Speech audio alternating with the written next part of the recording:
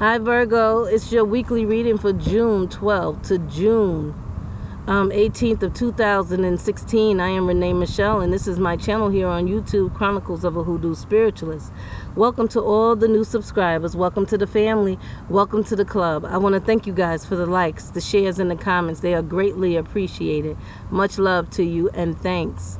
All right, then, if you want to book a reading with me, all you have to do is go to hoodoospiritualist.net. That's all one word. And if you click on the top right hand side next to my social media outlets, you click book online, and you'll be able to book a reading with me. I have specials for the month of June just for a regular reading, I don't think nothing's on me, Renee. I just want to sit and talk and see what's coming up and ask you a few questions. I have a special for that. And if you want to find out, listen, because I had this dude, and ever since I broke up with him, everything ain't been all right. Then you do it that way too. I have a special for that too. You guys come through and enjoy Hoodoo Spiritualist at outlook.com is my email address, but you can also email me directly from hoodoospiritualist.net. All right, Virgo, let's see what's going on with you this week.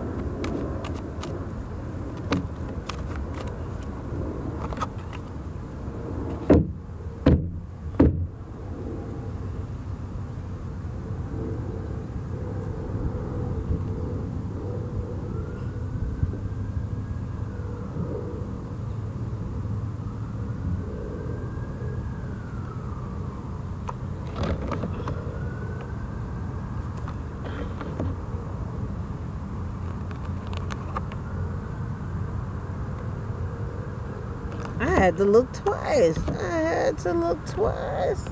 And there might be something, yeah, there might be something attached to that. To that card in particular. So we have the chariot for Virgo this week, right? Moving forward with strong and serious force. So I feel like y'all very focused.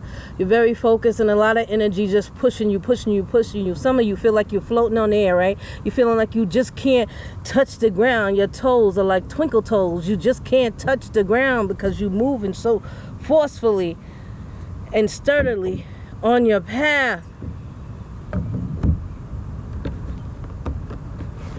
It's like you're waking up from a long dark sleep, right? Know that this is divine energy. Whenever you see the chariot and the star together, know that's God. That's God, that's God, that's God. Know that that's God that's pushing you and pulling you up from this devastation, up from this past, right? So you're waking up from it, right? You're opening your eyes and you're seeing what's really going on and what's really supposed to be happening around you, Virgo. Come on. See what you're supposed to see. Stop playing.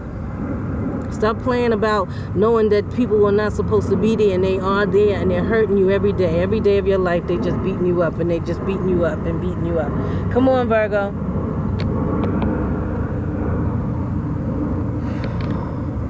Because at the beginning of the week, right, there's a victory.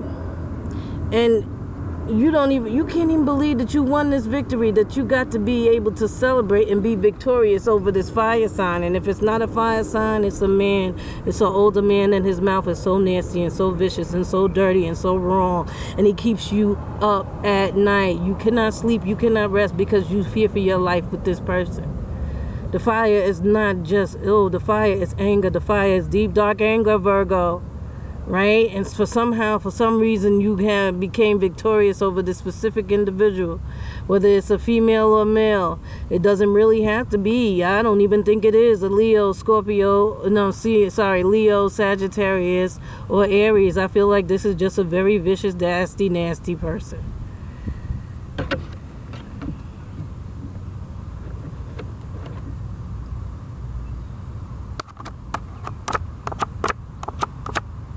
In the middle of the week, you realize what your dreams are. You realize what you really want in this world, in this life at this time, Virgo. You realize what is really coming. You realize what you really need to do. And you need to lo- look up at that star, that wish that you've always had from the depths of your belly and your soul till now, on what you want to do for a living, your career, your love, your life choice, and where you want to go and how you want to do it, right? Because you want to do what you love to do so much so that the money doesn't doesn't even. You just want to wake up every day with the joy in your heart, with the with the with the with the with the with the freedom and the peace of mind and the rest.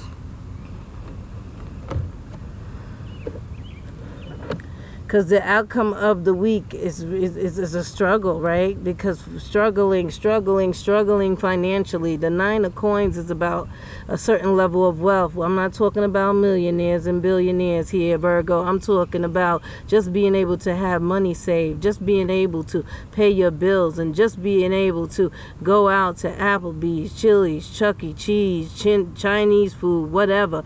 Just being able to have that luxury. So I feel like for many of you. It's a struggle just to, to, to keep that balance, just to keep the, the, this, this, this level of wealth and appearance to the outside world.